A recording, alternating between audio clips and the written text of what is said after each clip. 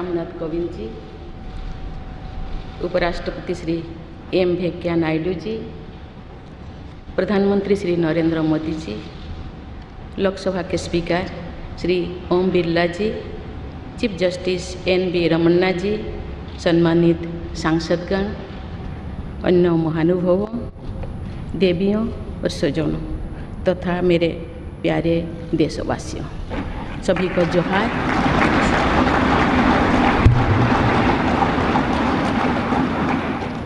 भारत के सर्वोच्च संवैधानिक पद पर निर्वाचित करने के लिए मैं सभी सांसदों और सभी विधानसभा सदस्यों का हार्दिक आभार व्यक्त करती आपका मत देश के करोड़ों नागरिकों के विश्वास की अभिव्यक्ति है। मैं भारत के समस्त नागरिकों की आशा, आकांक्षा और अधिकारों की प्रतीक इस पवित्र संसद से। सभी देशवासियों का पूरी विनम्रता से अभिनंदन करती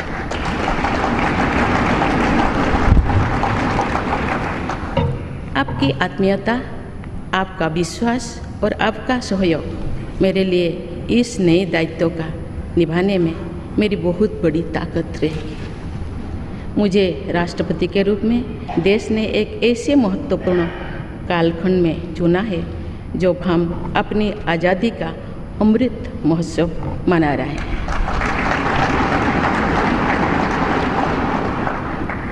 आज से कुछ दिन बाद ही देश अपनी स्वाधीनता के पचहत्तर वर्ष पूरी करेगा।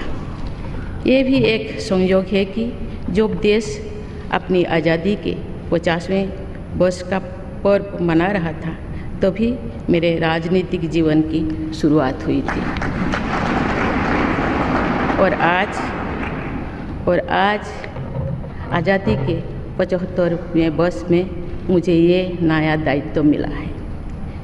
इस ऐतिहासिक समय में जब भारत अगले 25 वर्षों के विजन को हासिल करने के लिए पूरी ऊर्जा से जुटा हुआ है, मुझे ये ज़िम्मेदारी मिलना मेरा बहुत बड़ा सौभाग्य है। मैं देश की ऐसी पहली राष्ट्रपति भी हूँ, जिसका जन्म आज़ाद भारत में हुआ है। हमारे स्वाधीनता सेनानियों ने आज़ाद हिंदुस्तान के हम नागरिकों से जो अपेक्षाएँ की थी, उनकी पूर्ति के लिए इस अमृत काल में हमें तेज गति से काम करना होगा। इन 25 वर्षों में अमृतकाल की सिद्धि का रास्ता दो पटरी पर आगे बढ़ेगा। सबका प्रयास और सबका कर्तव्य। भारत के उज्जवल भविष्य की नई विकास यात्रा हमें सबके प्रयास से करनी है। कर्तव्य पथ पर चलते हुए करनी ही है। काल यानी 26 जुलाई को कारगिल विजय दिवस भी है। ये दिन भारत की सेनाओं के शौर्य और संयम दोनों का ही प्रतीक है। मैं आज मैं आज देश की सेनाओं को तथा तो देश के समस्त नागरिकों को कारगिल विजय दिवस की अग्रिम शुभकामनाएँ देती हूँ। देवियों और सुजन मैंने अपनी जीवन यात्रा पूर्वी भारत में ओडिशा के एक छोटे से आदिवासी गाँव से शुरू की थी। मैं जिस पृष्ठभूमि से आती हूँ, वहाँ मेरे लिए प्रारंभिक शिक्षा प्राप्त करना भी एक सपने जैसा ही था। लेकिन अनेक बाधाओं के बावजूद मेरा संकल्प दृढ़ रहा और मैं कॉलेज जाने वाली अपने गाँव की पहली बेटी थी।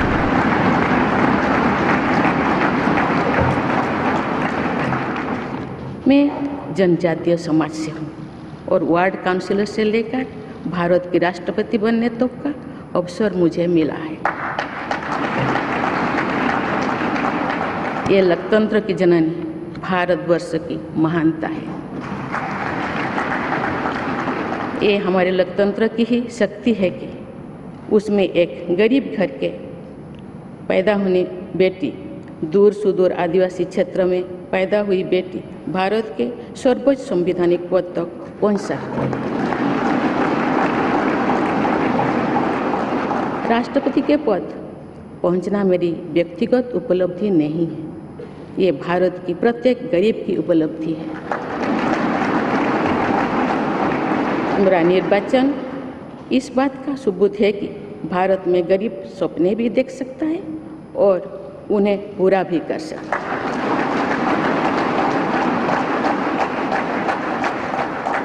और ये मेरे लिए बहुत संतोष की बात है कि जो सदियों से वंचित रहे, जो जीवन विकास के लाभ से दूर रहे, वे गरीब, दलित, पिछड़े तथा तो आदिवासी मुझे ये अपना प्रतिबिंब देख सकती है।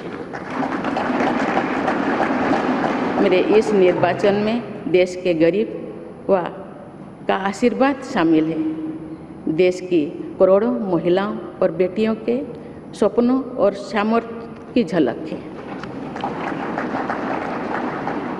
मेरे इस निर्वाचन में पुराने लीग से हटकर नए रास्ता पर चलने वाले भारत के आज के युवाओं का साहस भी शामिल है।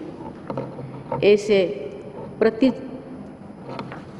प्रगतिशील भारत का नेतृत्व करते हुए आज मैं खुद को गौरवान्वित महसूस कर रही हूँ।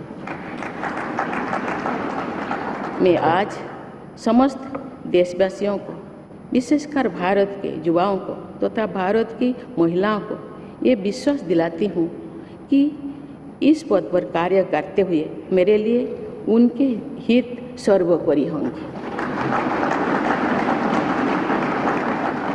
देवियों और स्वजनों, मेरे सामने भारत के राष्ट्रपति पद की ऐसी महान विरासत है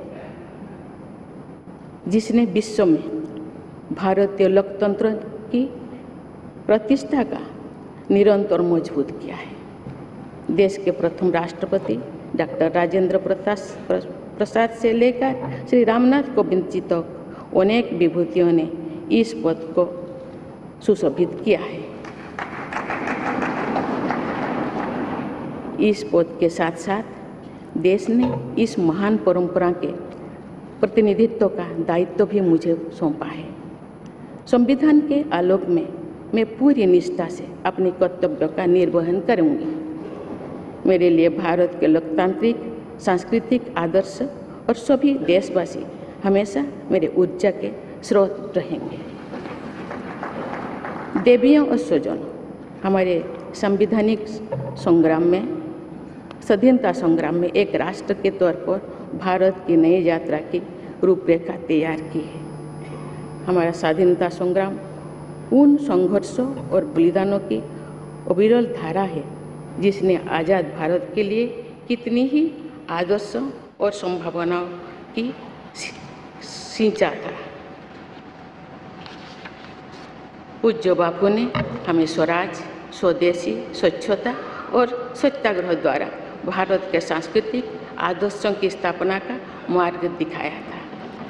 नेताजी सुभाष चंद्र बोस नेहरू जी सरदार पटेल, बाबा साहेब अंबेडकर भगत सिंह, सुखदेव, राजगुरु, चंद्रशेखर आज़ाद जैसे अनगिनत स्वाधीनता सेनानियों ने हमें राष्ट्र की स्वाभिमान को सर्वोपरि रखने की शिक्षा दी थी। रानी लक्ष्मीबाई, रानी बेलू निचियार रानी गाईदिनलू और रानी चेन्नीमा जैसी अनेकों वीरांगनाओं ने राष्ट्र इच्छा और राष्ट्र निर्माण में नारी शक्ति की भूमिका को नई ऊर्जा दी है। संथाल क्रांति, पाइक क्रांति से लेकर कोल क्रांति और भील क्रांति ने स्वतंत्रता संग्राम में आदिवासी योगदान को और सशक्त किया। सामाजिक उत्थान एवं देश प्रेम के लिए धरतिया व भगवान बिरसा मुंडा जी के बलिदान से हमें प्रेरणा मिली थी। मुझे खुशी है कि आज़ादी की लड़ाई में जनजातीय समुदाय के योगदान को समर्पित अनेक म्यूज़ियम देश भर में बनवाया जा रहा है। देवियों और स्वजनों, एक संसदीय लोकतंत्र के रूप में, पचहत्तर वर्ष में भारत ने प्रगति के संकल्प को, सहभागिता एवं सर्वसम्मति से आगे बढ़ाया है। विविधताओं से भरे अपने देश में हम अनेक भाषा, धर्म, संप्रदाय खान पान रहन सहन रीति रिवाजों का अपनाते हुए एक भारत श्रेष्ठ भारत के निर्माण में सक्रिय है। आज़ादी के पचहत्तरवें वर्ष के अवसर पर आया है अमृतकाल। भारत के लिए नए संकल्पों का कालखंड है। आज मैं इस नए युग के स्वागत में अपने देश को नई सोच के साथ तत्पर और तैयार देख रही हूँ। भारत और हर क्षेत्र में विकास का नया अध्याय जोड़ रहा है। कोरोना महामारी के वैश्विक संकट का सामना करने के, करने में भारत ने जिस तरह का सामर्थ्य दिखाया है, उसने पूरे विश्व में भारत की साख बढ़ाया है।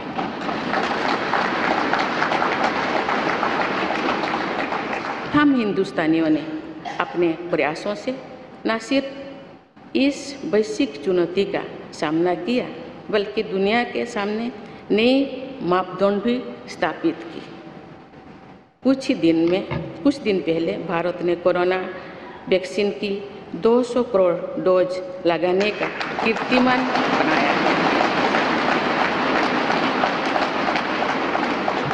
इस पूरी लड़ाई में भारत के लोगों ने जिस संयम, साहस और सहयोग का परिचय दिया।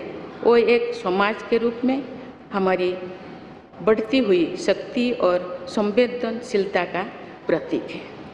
भारत ने इन मुश्किल हालात में न केवल खुद को संभाला, बल्कि दुनिया की मदद भी की।